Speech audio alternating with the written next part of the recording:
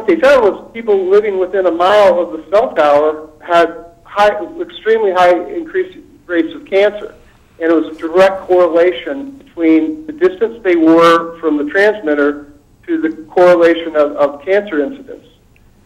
So the, the question begs, you know, when people realize that the, the radiation coming out of their, their kids' iPads, out of these routers, is the same type of radiation, and quite frankly, higher in, in, in power uh, density uh, because of the distance that you are to the device. An iPad, the children are literally uh, grounding themselves and, and holding it on, on their bodies. Uh, so they're getting extremely high amounts of radiation. Uh, for example, we, we measured an iPad, uh, and the iPad was anywhere between um, it was it was between 30, it was over 30 uh, microwatts per centimeter squared, which is the, how, how much they measure uh, this kind of radiation in. And we, we found that cell towers, standing next to a cell tower, can, can be anywhere on, on the magnitude of 5 to 10 uh, micro, microwatts per centimeter squared. So the, the, the distance is really important, but it's, it's also really important when, when realizing that the child is going to be using these iPads.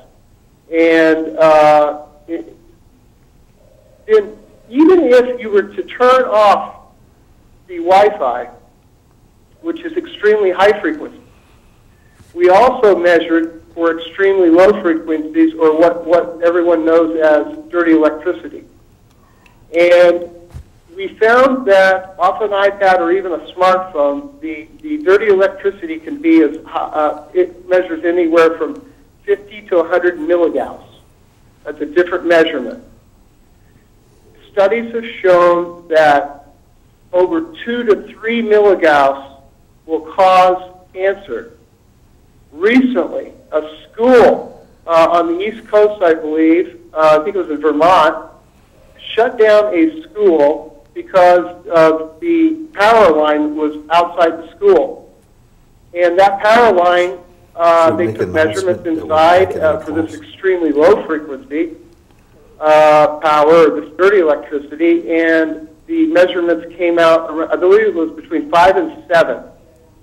5 and 7. And that caused the uh, school board to close down the school indefinitely until the power lines could be moved. Now, if, if these iPads are emitting in user distance over 50 milligauss of dirty electricity, even with the Wi-Fi turned off, we're looking at a disaster here. And my point is, is that if, if these things were buildings, they would be condemned. And, and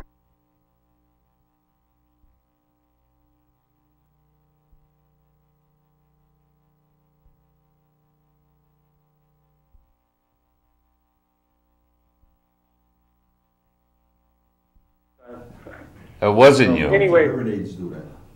Were you- Wally's hearing aids doing it? I wonder. You- You made Wally run off the set, so, go- all right. I'm gonna take them out. um, well, I, I don't know, you heard the feedback, I suppose. So anyway, that, that was my point, is that uh, these devices are extremely dangerous, and especially the iPads. Even if you turn them off, they're dangerous. Uh, the touchpad screen itself is, is interacting with your electrical, uh, the way it works is it interacts with your electricity. And it, it interacts with your electrical field. That's how it works. And if you measure the milligauss coming off of these, they're over 50 milligauss. Two milligauss in studies have been proven to give you cancer. Going, you know, that's been a given since the 60s they close schools down when they get above five and seven milligauss, right? So I just asked, you know, Microsoft uh, or uh, Apple, you know, what what are they thinking? Uh, in, in the schools, you know, how can they not not compare the, these the, the one thing to the other? And, and it's just because they don't understand it, is why. Now, uh, uh, Shawn, I'm sure there's a lot of viewers watching, and they're probably thinking, what can they do, or how can they make their house uh, safe, or you know, how can they protect their kids? What ad- what advice would you have for them? Well, number one, no child, uh, and, and, and this was uh, the, the, the, the, the um, what the advice of a former microwave British uh, secret agent trained in microwave warfare, Barry Trower, who you've had on the show. Uh, he was one of the first persons that got me involved with this, or one of the first persons who I saw explained, and I've had the opportunity to work a lot with him. And uh, I agree with him. He's of the opinion that, that there is no safe level of, of radiation. And what that means is, is, you know, and his, his advice is that a child, a child should never use a cell phone unless it's an, un, for an emergency reason. And that's literally a life or death reason. And uh, one of the problems becomes, uh, uh, or going back to the advice, uh, to get rid of it. Number one, anything that's wireless, you, you, you, got to replace it with something that's wired.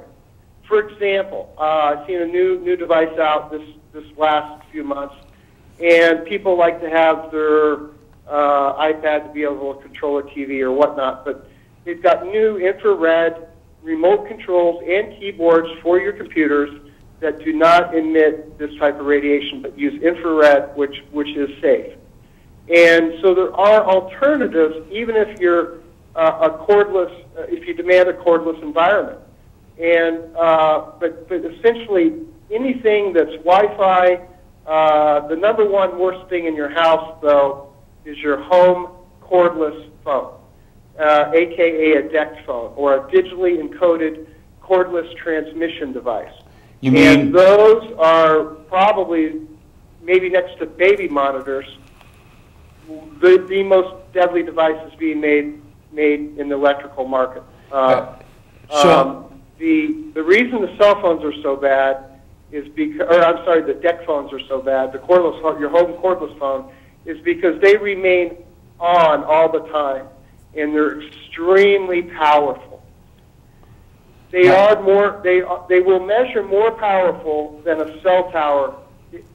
Than if you're standing across a cell tower. If you have one in your house, and unfortunately, a lot of people have one maybe in their kitchen, and then again one beside their bed. Yeah. Now that brings me to the next thing I would I would recommend: never ever use your alarm clock, uh, your cell phone, your smartphone as an alarm clock, and don't sleep with it next to your bed if, if you have to have it on. But uh, the reason it's so, and, and also your home cordless device also often sits by your bed.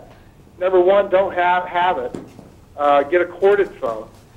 Now, And it, number two, if you're going to have it, have it in a far off place in your house because they never shut off.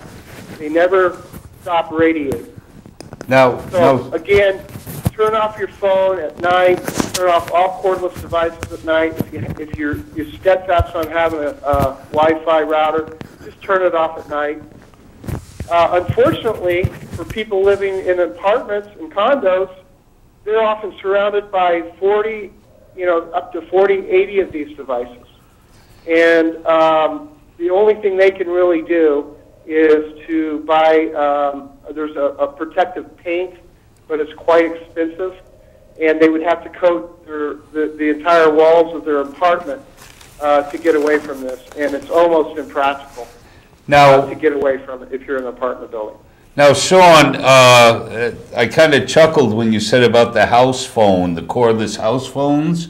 Yep. I, I go through the hassle of turning off the uh, modem, the wireless. I don't like it.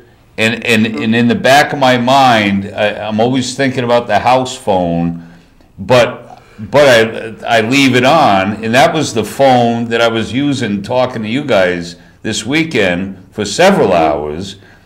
And uh, so I think I'm going to have to find a new approach with a different uh, uh, hardwired phone at the house. Ab- ab- Absolutely, absolutely. And you know, um, I personally don't have a cell phone, and uh, you know, it, it, it is possible to get through life without a cell phone, and I think I think a lot of people would actually find out out that not having a cell phone is quite liberating, and uh, gives them the time to do the things they, they need to do, and uh, um, it doesn't make you a, a uh, robot, so to speak. So, um, you know, we, we can we, we lived in a wireless world, a wired world before, and uh, in fact, most of the schools uh, that were, were wanting to get this radiation turned off in, almost every one of them is already hardwired, and they continue to maintain the wired system.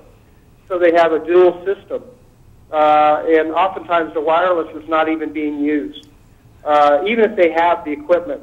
Most of the most of the most classes don't use, use it, and so the children are being bathed in this radiation uh, and and for no no purpose whatsoever. And for example, at Portland Public Schools, uh, we tested a a router that was made by Cisco, and it's a dual what's called a dual band router, meaning it comes in at both 2.4 gigahertz, which is the cellular frequencies, and Wi-Fi, uh, and it also comes in at 5.0 gigahertz. So no one is using the 5.0 channel, but yet they're double microwaving these kids absolutely no reason. And uh, it's, it's, it's a senseless technolo- technology uh, that shouldn't even be used. But the way it's being used is, is, is uh, truly, truly, truly awful. Uh, to, you know, and deadly. So. Uh, now, now, Shawn, we're uh, we got, believe it or not, less than 10 minutes uh, left here already. Yeah. Uh, I know that you guys are involved in a case in, in Rhode Island. Yeah, well, we have Joe's case. Uh, we, we're, we're, we, we're about to, to file two new cases, and, and one is on behalf of Joe, uh, Mr. Imbriano here, and he is in the Fullerton School District uh, mm. down in the uh, LA area and we're going to be filing that uh, complaint to remove Wi-Fi. Uh, it will be an injunctive type relief, and it will be based on the violation of fundamental rights, and that's the right of a parent to choose whether or not their child uh, should be exposed to a known uh, toxic agent or not when a less burdensome means exists to carry out the, the school's goal of educating via the internet by way of wireless. And uh, all they have to do is choose wired, and no one's, no one, no one will be hurt, and they can still continue educating.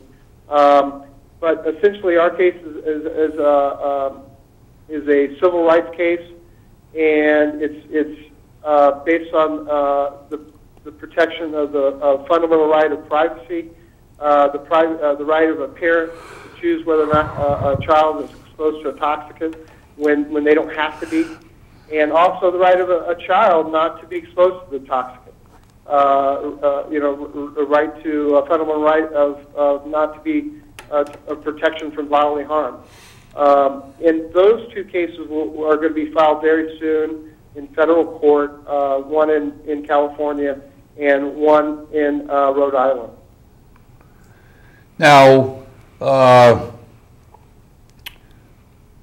when you say lawsuits, uh, are they class action lawsuits or are they independent lawsuits for no, individuals? These are independent lawsuits, um, but they will have the effect of, of, they should have the effect of essentially setting precedent. Um, and, you know, it, it's essentially uh, you know, a, a Roe v. Wade type of case that's going to set a precedent with, with only one or one one plaintiff.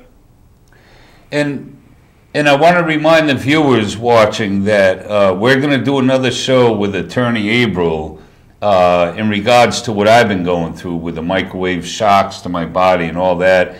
And uh, Shawn, you do have a class action lawsuit you're working on with that, correct?